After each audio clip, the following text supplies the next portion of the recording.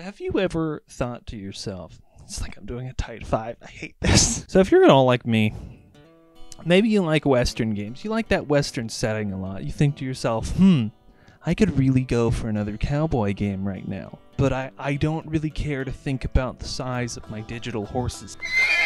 Do I have the game for you?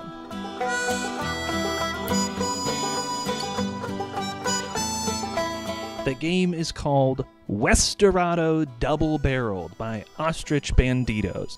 I forget what year it came out, it'll say on the screen. Westerado Double Barreled is a little bit Sunset Riders, it's a little bit Fallout New Vegas, it's uh, Quentin Tarantino directs the good, the bad, and the ugly.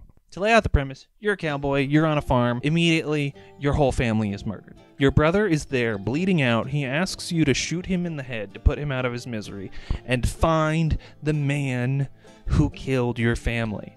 And this that's that's the thrust then of the whole game is finding out who killed your family. And how that works is the game predetermines at the beginning, you know, who who it is that killed your family.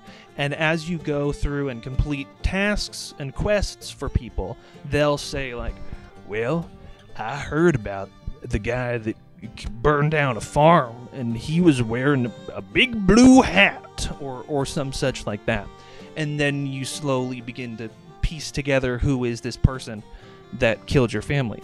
And even at the start of the game, you can accuse anybody. You can be like, "I know you did it. You killed my mom," or I can't remember if it's if it's your mom or your aunt. I think it's your mom. Your mom and your brother die. Your father's already dead. You go to your uncle's house. You can accidentally kill him. When my brother and I played this game back in the day, he inadvertently just took out a whole saloon, including the piano player, which meant that that saloon never had jaunty piano music playing in it ever again. There was just no soundtrack. It was just ambient noise. I, th- I think I've done a bad thing. Heinous. But that's great because it means there's kind of infinite replayability because the murderer is always different and you're, you're you can't like min max um, you can't min max the art of vengeance. I mentioned the Fallout bits.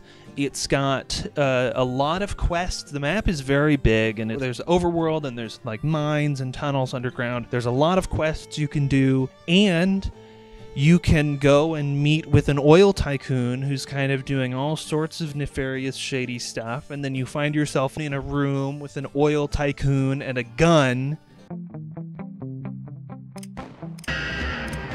the pixel art is great, the animation is great, the gunplay feels good. You have to manually reload every shot that you take. Your lives are measured in hats, so you you get shot and your hat flies off. You put another one on. You pick up hats off dead people for extra lives. The soundtrack whips. I meant to get my harmonica out try to play the main theme, but I'm gonna I'm gonna not do that. Yeah, just a great little cowboy game. Westerado double barreled, potentially the first of whatever we're going to call this series. Here's the title card. What would you do if you were alone in a room with an oil baron and a gun? Uh, you know, leave a comment, like the video, and subscribe to the channel. I'm Jake Theriault. This has been title of this series. Thanks for watching.